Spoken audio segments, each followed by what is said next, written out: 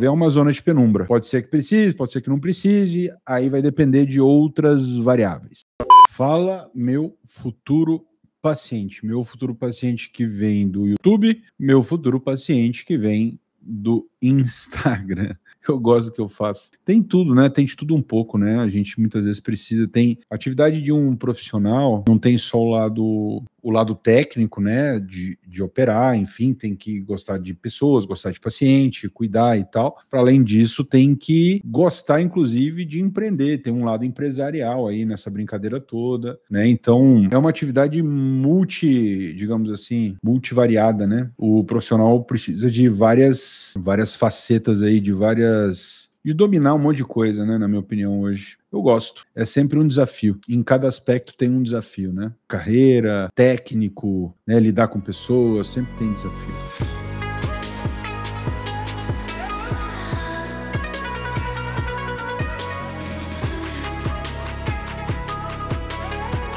Fala, Maione, tudo bem, querida? Existe alguma cirurgia para corrigir flacidez nos seios? Opa, várias é, sem precisar reposicionar. Não, mas aí, peraí. Só não vou reposicionar a areola se a tua areola estiver na posição correta, né? Se, se a tua areola estiver na posição correta, eu vou tirar a pele sem subir a areola.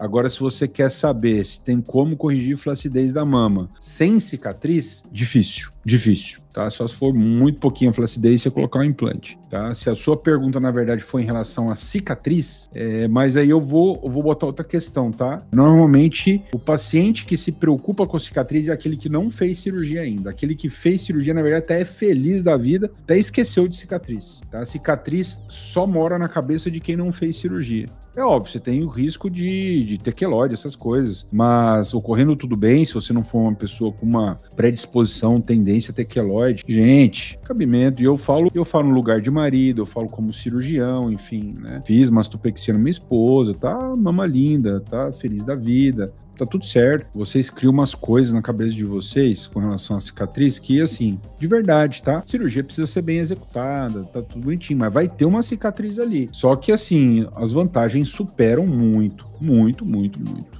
algo não invasivo, mano. Assim, ó, o que é não invasivo não tem resultado, querida. Ah, não, não quero cicatriz. Não quer resultado. Você não quer gastar, não ter resultado, imagino eu, né? Minha pergunta seria perder a sensibilidade é, é, a minha área mais sensível, eu não gostaria de perder. Deixa eu te explicar uma coisa, Maione. Mastopexia, de fato, quando a gente recorta ali, precisa subir a areola e tal, existe o risco de alterar a sensibilidade. Muito embora, é bem pouco frequente, tá? Não é muito frequente, não. É, pode acontecer, não tem como a gente controlar, mas não costuma acontecer muito. E aí tem um outro detalhe. Quanto mais eu subir a areola, maior a chance de alterar a sensibilidade. Se a sua areola não tiver tão baixa, a chance de alterar é menor tá? É, então, assim, tem muita relação também com o quanto a gente precisa subir da areola. E o quanto tem que subir da areola depende do quanto tua mama tá caída. Se tua mama tá muito caída, querida, a sensibilidade é o menor dos seus problemas. Né? Tem muitas pacientes, inclusive, que citam para mim que tem mamas muito, muito caídas. Falam, Doutor, tem anos que eu não sinto nada nas mamas. É assim, vai perdendo sensibilidade porque a coisa vai caindo tanto que perde, vai perdendo completamente. Você citou que é uma área sensível. Perfeito.